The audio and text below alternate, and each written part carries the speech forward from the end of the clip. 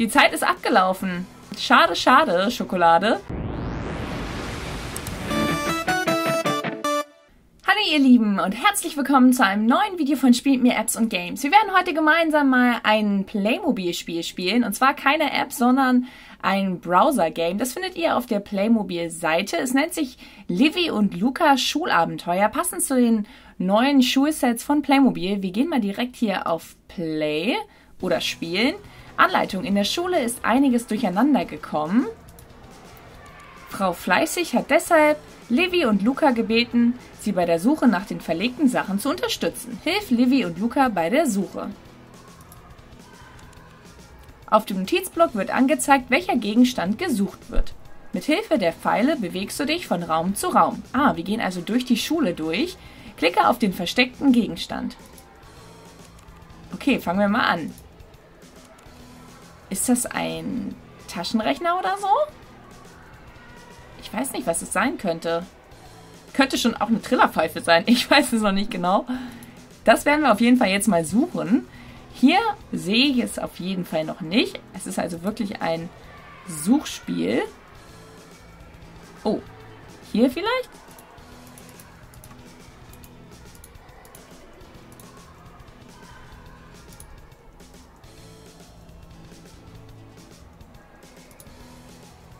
Oh, wir können auch nach oben gehen. Das habe ich gar nicht gesehen.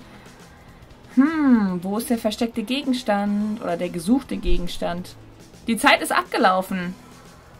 Zeig das Versteck, wo war's? Ja, in dem Raum war ich leider noch nicht. Na gut. Ich bin zu langsam gewesen. Schade, schade, Schokolade. Kann ich jetzt äh, eigentlich noch weiterspielen? Findet sich der Gegenstand vielleicht wieder hier? Nein. Oh, ich muss den wahrscheinlich in einem anderen Raum suchen. Ihr könnt übrigens mitsuchen und mitraten, falls ihr diesen ver vermissten Gegenstand irgendwo seht. Ach, da ist er. Perfekt. Das war ein Tablet. Jetzt weiß ich's. Hier wird ein Apfel gesucht. Da ist einer. Das war einfach. Eine Brotdose ist das, glaube ich. Wo ist die Brotdose? In der Turnhalle ist sie nicht. Ach, wo, doch, da ist sie.